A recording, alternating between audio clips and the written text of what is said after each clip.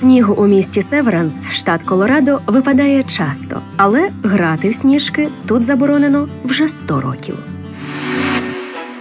Та дев'ятирічний Дейн вирішив це змінити. Він зібрав підписи однолітків, прийшов на засідання міської ради і довів дорослим, що закон застарів. І вже того вечора в місті відбулася епічна снігова битва. Вустами дитини говорить істина.